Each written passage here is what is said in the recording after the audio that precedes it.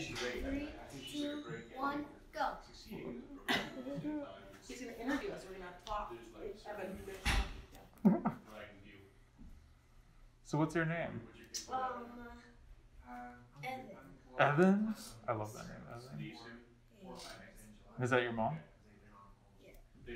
What's her name? Where? Blaire? What are you guys doing here today? Um, we're giving people food from all around the city and countries.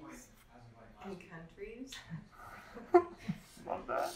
We're delivering some food to some families who are gonna be very appreciative. I hear they're beautiful boxes of produce. Yeah? Yeah. That's great. Which is, uh, Is this your first time? Um, no, my second. Yeah? No, my second. Second time. That's awesome. And why do you guys w- like volunteering for Hamilton families? You came back. Well, because if we didn't volunteer, we would be homeless. If we didn't volunteer, we Yeah? We, um, we used to be clients of Hamilton Family when, Oh, wow. many years ago, when I was pregnant with Evan. And Hamilton Family made a huge difference in my life, and so it's an organization that I believe in, and I, um, and now that we're in a position to be helpful, we like being helpful.